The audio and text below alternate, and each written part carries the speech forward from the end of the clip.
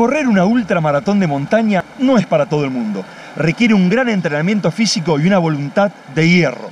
Para esta edición de The North Face Endurance Challenge, la cumbrecita, llegaron atletas de muchos sitios, pero hay una muy especial que vino desde su California natal. Se llama Rory Bossio. Es enfermera y atleta y es la única mujer que está entre los 10 mejores tiempos en dar la vuelta al Monte Blanco, en esas 100 millas, esos 160 kilómetros en la frontera entre Italia, Suiza y Francia. Esta es su historia.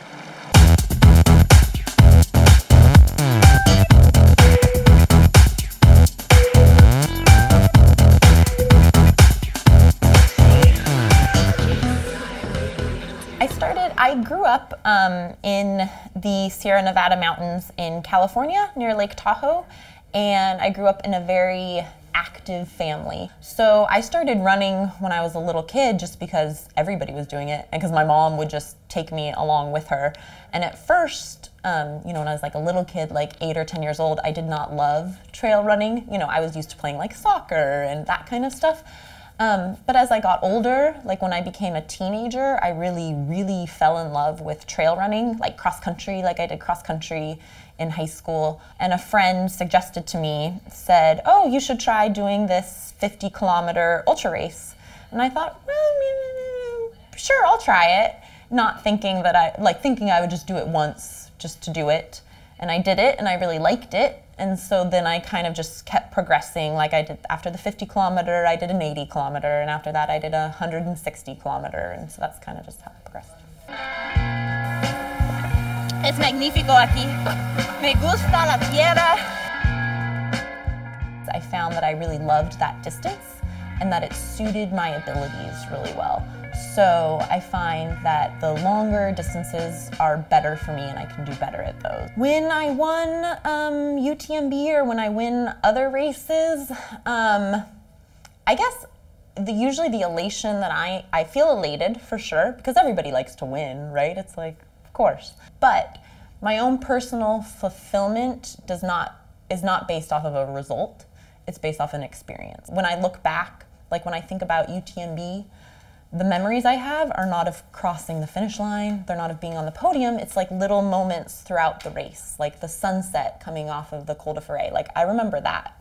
I don't remember like finishing the race. So it's those types, it's the experience.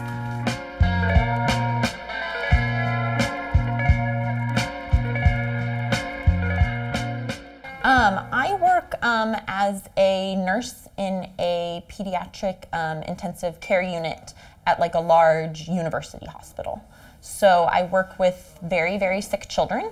Um, you know, I've taken care of many children who have died. Um, I've done like CPR on many kids, very, very sick kids. So in my job and in running, um, there's you always hit difficult moments, no matter what. It's like anything.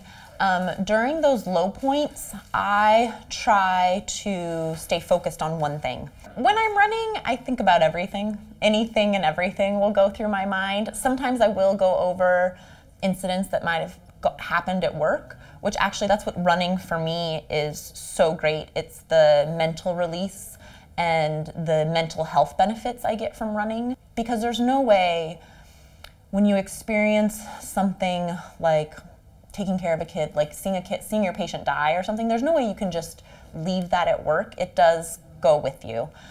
And I use running as a way to work through some of those like negative emotions that I might get from other experiences in life.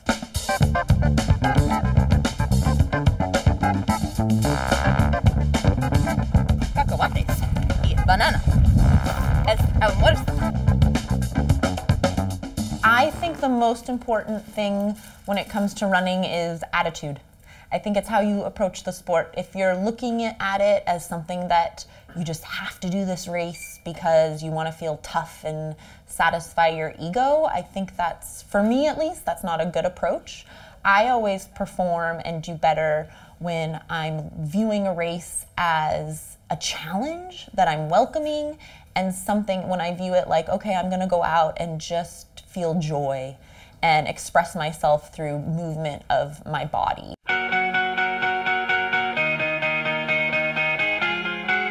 Running for me is life. running is a way of life, my number one love. Sorry to my future husband. You're always going to be number two. Y llegó, y llegó, y llegó Rory Bosio ganando los 80K en The North Face Endurance Challenge. Impresionante.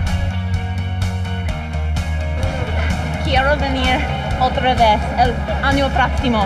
Estoy aquí. Y llegó Rory, llegó Rory y por supuesto la ganó. Una mujer increíble. Ahí la tenés.